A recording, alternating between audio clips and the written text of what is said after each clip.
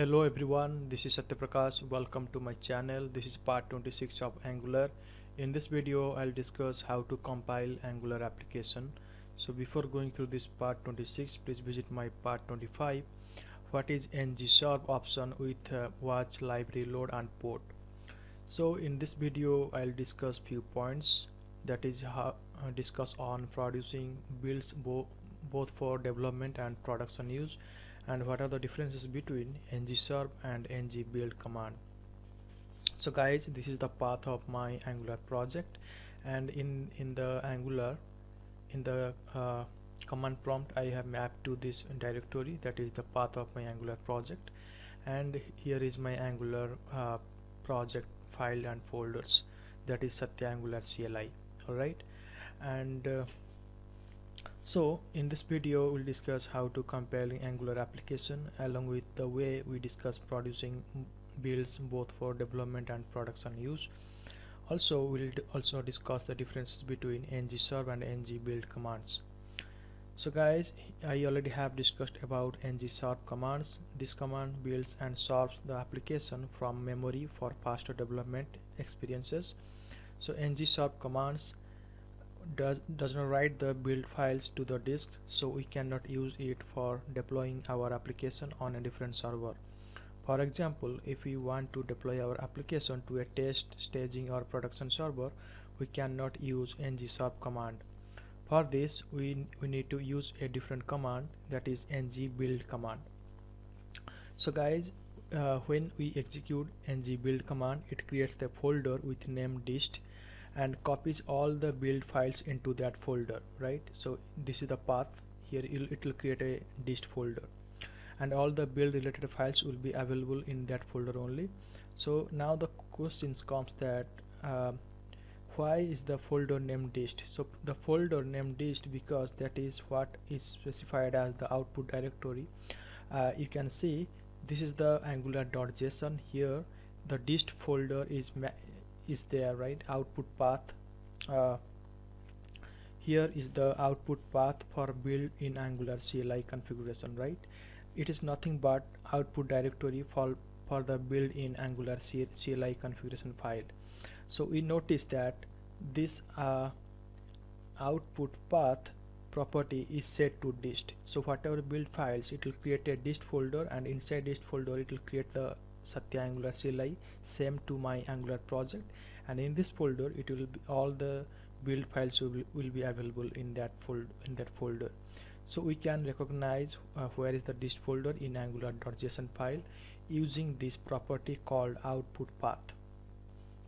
Okay so by default the ng build command does a development build not a production build. The development build is not optimized for production use. The development build is typically is used for testing uh, with a development build. It is easier to debug as the development build contains the source map files. So guys here ng build command uh, on my I'll execute the ng build command here. So ng build and press enter. So guys here we can see the uh, build process is executed successfully right? And here the related files you can see with the green marks right? Because it is all the files it generated during builders uh, um, during building process of our angular project. So ng build command on my machine produce the these files in the dist folder. So we need to go to uh, my uh, path of the project right? Here you can see one dist folder is created right on this date so if you open this dist folder there is one more folder satya angular cli and if you click on it there is many files has been created whatever files you can see here in a build build process right? And uh, there is index.html main javascript file polyfills runtime styles and vendor. Alright so guys here you can see uh, that the dist folder we have these files right and there is also uh, bundle files and corresponding uh, source map files right? But so bundle files is nothing but main is the bundle file and main.js.map is the source file. The same thing in polyfills same thing in runtime same is in styles and same in in is in vendor right?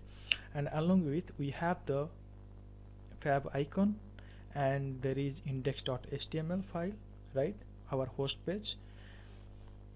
So this is the all the files and folders files uh, with bundle files and with the source map files. So guys I I'll go to my command prompt here. Here there is same command for development that both the following commands are equivalent and does the same thing. That is they produce a development build. So earlier we we run this uh, you know use this command ng build. So if you want to use for development it is same as ng build. By default it takes as development right? So both the commands is same. So it, it does the same thing and these are equivalent and they produce the development development build. So if you want to deploy the application to a server like live server or production server you just uh, copy the content of dist folder to a folder on a server. If, if there is development server or if there in it is test server or QA server you just copy these files uh, just remove this command before that. Okay you just copy this dist folder right whatever we have created. And uh, we'll discuss the deployment in detail in my next videos. So guys the bundle files is nothing but the inline main polyfills styles and vendor right? So here we, you have noticed one thing styles is the css file. If you go to my project you can see styles is the css file right here. But while we build our application by the it will take styles as a javascript file .js same thing in source map as well styles.js.map file. It is the linked address map file all, all right so uh, so guys here uh, this this all the bundle files and the you know address map files uh, these are generated by the development build are not optimized. Meaning that th these bundles are not minified or tree sect to remove the code that is not being used. A production build on the other hand will have all the performance optimization technique like ahead of time or AOT compilation, minification, uglification and tree shaking implemented.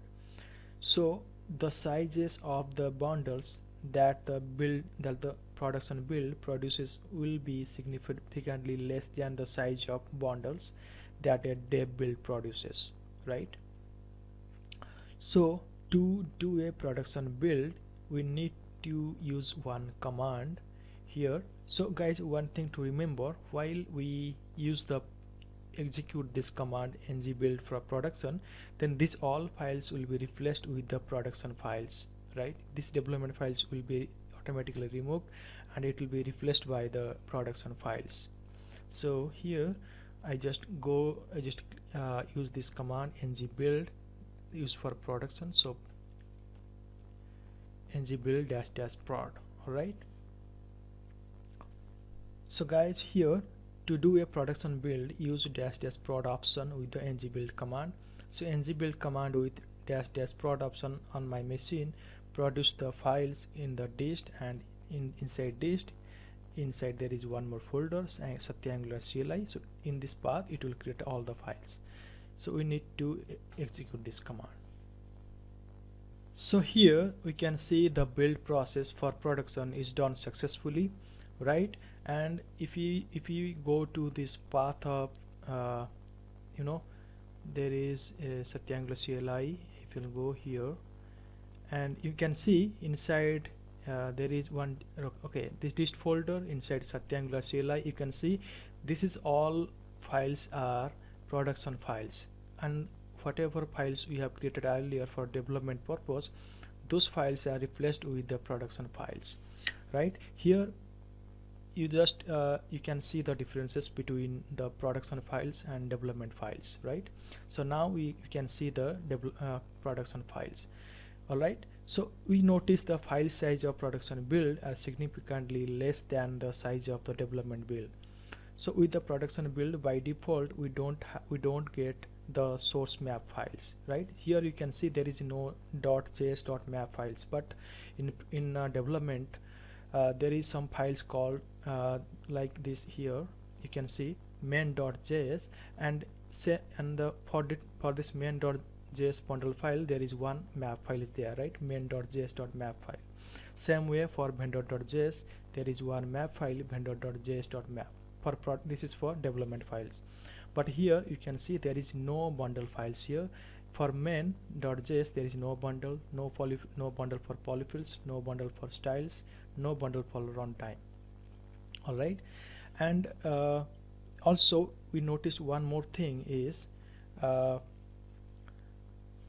okay now one more thing. With the production build by default we don't have the source map files because we don't need the we don't need the, these uh, source map files on a production server. That's what uh, while we execute the command for production. The production command is not created the source map files for the bundles or uh, there is no bundle files because it, it is not required to uh, for production server like that's what it, it is not creating the uh, source map files. Also notice one more thing. For a production build it will extract css from global styles into a uh, you can see css right instead of js1 but for uh, development you can see for styles it was in javascript format or js format right? Styles.js and its map file is styles.js.map alright? Because and in production you can see styles uh, styles uh, file it is in css right? So production build extract css from global styles into a css file instead of js ones alright and also you can see some uh, size right? Uh, size of production build as significantly less than the size of production uh, development build. Alright you can see for uh, uh this one you can take an example of styles. Alright so you can see styles.js it is the size is 12.9 KB but here styles.css uh, there is there is 0 bytes. Alright and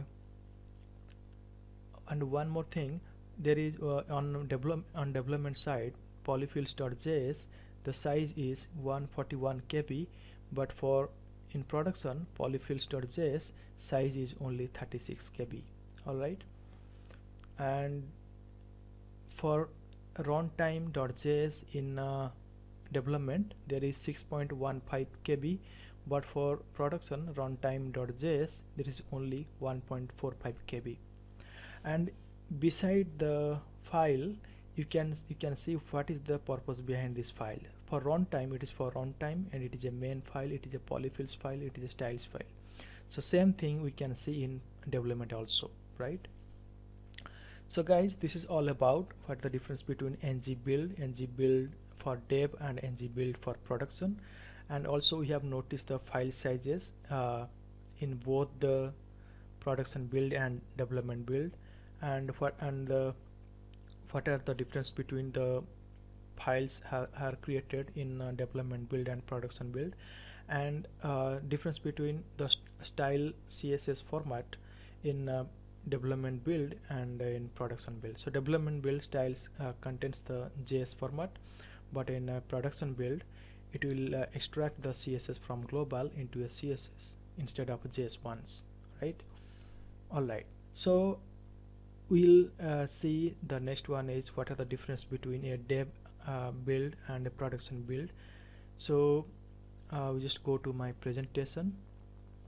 So this is uh, this is for we already have discussed about that is what the difference between dev build and production build in this path right by uh, by discussing these um, three points. That is point number is point number one is size and point number two is uh, source map files is not available in uh, production because it's not required for production server. And third one is uh, that is production build extract css from global styles into a css file instead of js ones but for development the css uh, the css file that is style.css is available in the form of JS file right? Here you can see. In the in the development build there is styles.js and the related map file but uh, in production the styles is in a CSS format. Alright guys then we, we need to discuss about difference between uh, ngserve and ng-build command. So ngserve is it compiles and serves the application from memory and but ng-build compiles the application to the dist folder. And ng-serve does not write the build file to the to the disk and ng-build can be used to produce both the development and production builds. ng-serve typically used to run the application on local development machine but ng-build it is used to deploy the application on another server like production uh, QA server staging server and it cannot be used for deploying the build to another server like testing staging and production but ng build it is possible in ng build. Alright so guys that's all about for today. Thank you for listening. Have a great day. Please don't uh, forget to subscribe and share my channel uh, to get the updated knowledge on .NET, .NET Core, C Sharp, SQL Server, Angular and DevOps. Thank you guys.